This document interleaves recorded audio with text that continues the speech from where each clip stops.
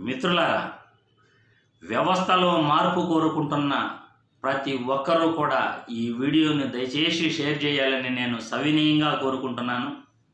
పూర్వం బ్రిటిష్ వారి కాలంలో ఏదైనా పండగలు పబ్బాలు వచ్చినప్పుడు రోడ్లపైకి వచ్చి ఒక ర- రథం పైనో లేకపోతే వెహికల్ పైనో నిలుచుకునే నాణ్యాలు ఇరజల్లేవాళ్ళు.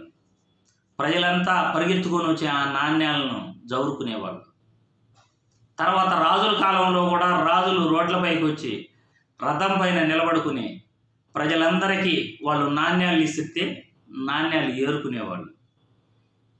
ఆ సంఘటన ఇప్పుడు గుర్తొస్తూ ఉంది. నిన్న గుంటూరులో నడి రోడ్లో లారీ పెట్టుకుని చంద్రన్న కానుక పేరుతో వస్తువులను పంపిణీ చేసిన విధానం కొంతమంది మహిళల ప్రాణాలను బలికొన్నారు.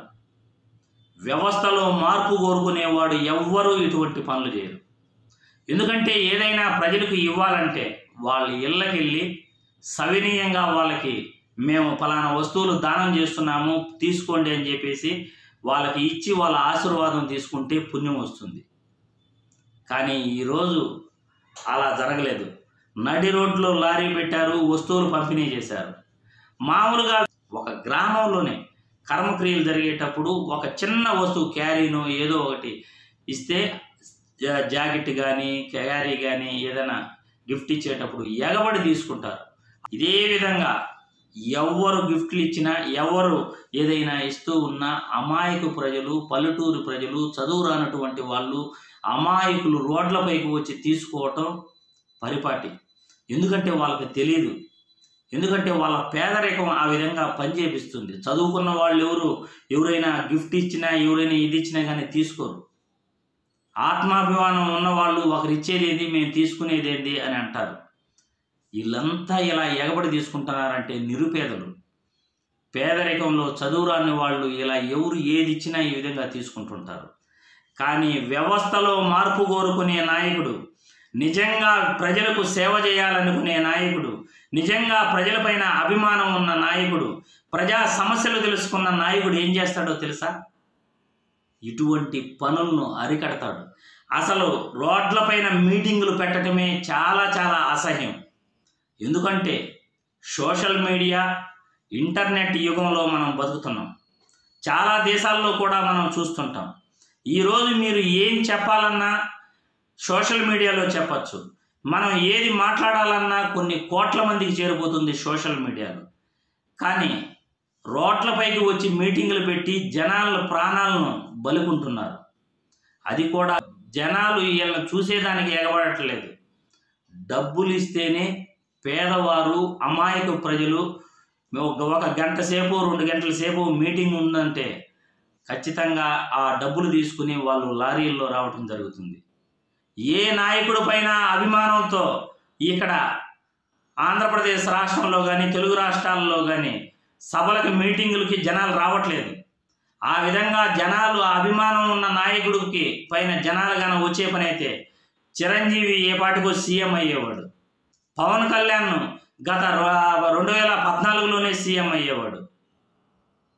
కానీ అభిమానంతో ప్రజలు రానే రారు. డబ్బులు ఇస్తేనే సభలకు జనాలు వస్తారు అమాయకు ప్రజలను చదువు రాని వాళ్ళను అమాయకులను చేసి ఈ రాజకీయ నాయకులు కుట్రలు కుతంత్రాలతో రోడ్లపైన మీటింగులు పెడుతూ ప్రజల్ని చంపేస్తున్నారు.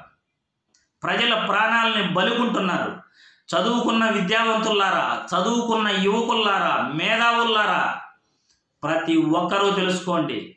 ప్రతి ఒక్కరూ మీ గొంతును వినిపించండి. ప్రజా సమస్యలపై గొంతు వినిపించకపోతే దేశం సర్వనాశనం అయిపోతుంది. రాష్ట్రం అధోగతి పాలవుతుంది.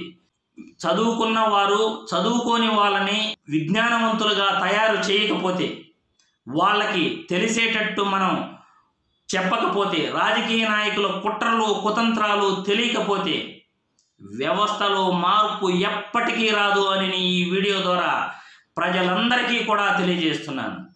రాజకీయ నాయకులు ఆడే కుట్రలు కుతంత్రాలు మీరు పావులు కావద్దండి. నిజంగా ప్రజలకు సేవ చేసేవాడు వ్యవస్థలో మార్పు కోరుకుంటాడు.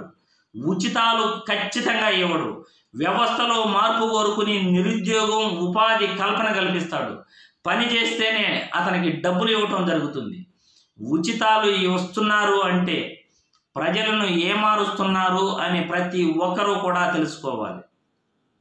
ఇప్పటికీ కూడా వ్యవస్థలో మార్పు కోరుకునే ప్రతి ఒక్కరూ కూడా ఇటువంటి రాజకీయ ప్రసంగాలు రోడ్లపైన పెట్టకూడదు అని గొంతెత్తండి.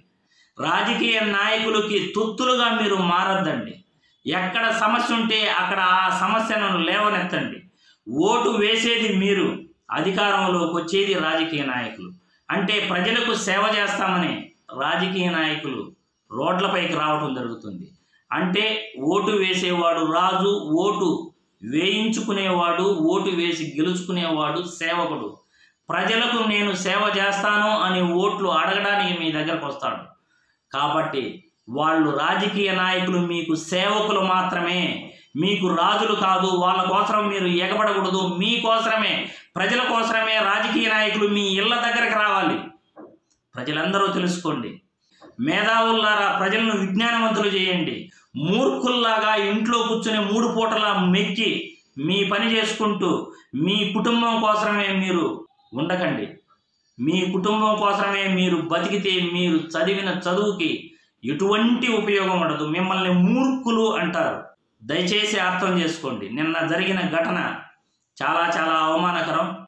ప్రజలను ఈ విధంగా నడి రోడ్లోకి ఇచ్చి లారీల్లో వస్తువులు పా పంచటం మాత్రం చాలా చాలా ప్రజలకు అవమానకరం. చాలా బాధాకరం. దీనికి ప్రభుత్వాలు న్యాయస్థానాలు కూడా ఖచ్చితంగా ఇటువంటి నాయకులను అరెస్ట్ చేయాలి. రాజకీయ నాయకులకి రోడ్లలో మీటింగ్ పెట్టే అధికారాన్ని ఇక మీదట తొలగించాలి. రాజకీయ నాయకులు ఎవ్వరూ కానీ సోషల్ మీడియాలో ప్రసంగించుకోవచ్చు. రోడ్లపైకి రావాల్సిన అవసరం లేదు. మీ గొంతు రోడ్లపైకి వచ్చి వినిపించాల్సిన అవసరం లేదు. సోషల్ మీడియాలో మీరు చెప్పదలుచుకున్నది చెప్తే కోట్ల మందికి చేరుతుంది.